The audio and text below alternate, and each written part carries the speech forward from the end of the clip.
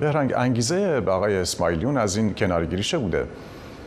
بله پیام همونطوری که اشاره کردی امروز در واقع ساعتی پیش انجمن جانباختگان هواپیمای اوکراینی بیانیه‌ای رو منتشر کردن و طی اون بیانیه از کنارگیری حامد اسماعیلیون دبیر و سخنگوی این انجمن خبر دادن و آقای کوروش دوستشناس یکی دیگر از اعضای انجمن رو به عنوان سخنگو معرفی کردند و معرفی دبیر این انجمن رو به ماهای آینده موکول کردند. این در واقع انجمن یکی از نهادهایی بوده که از ابتدا از وقتی که ما شاهد ساقط شدن هواپیمای اوکراینی توسط های سپاه پاسداران بودیم توسط خود آقای اسماعیلیون در واقع پایه‌گذاری شد و تونست که بسیاری از این خانواده ها رو کنار همدیگه بیاره. چیزی که در این بیانیه اعلام کردن و از انگیزه حامد اسماعیلیون گفتن در واقع نقشی که ایشون داره در خیزش سراسری اخیر که ما شاهد هستیم چهره های سرشناس سیاسی کنار همدیگه قرار گرفتن و به نوعی شاید تدایی کننده یک اعتلاف هستند در واقع این نقش رو در واقع می‌خوان که تمرکز بیشتری روش داشته باشن و در بیانیه انجمن هم به همین نکته اشاره کردن. اون چیزی که انجمن از انقلاب ایران یاد می‌کنه و در این بیانیه منتشر می‌کنه می‌خوان که حامد اسماعیلیون در واقع تمرکز بیشتری در این مسئله داشته باشن. حامد اسماعیلیون از همون روزهای اول تمرکز بسیار زیادی داشت روی مسئله دادخواهی.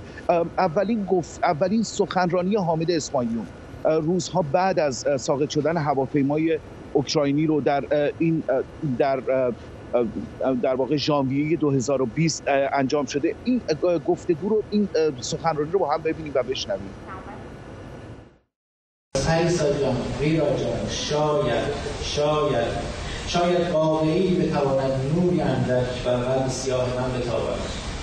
آن چیزی نیست جز تحویل دادن جعبه سیاه.